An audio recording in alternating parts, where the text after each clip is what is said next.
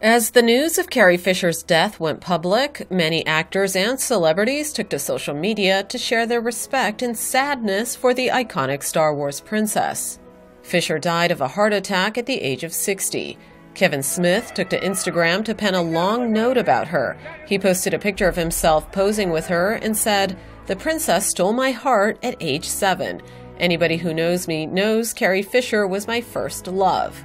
Smith continued on to explain how he loved and idolized her while growing up. At the end, he added, I'll dream of my friend Carrie, whose entire magnificent career I was lucky enough to witness.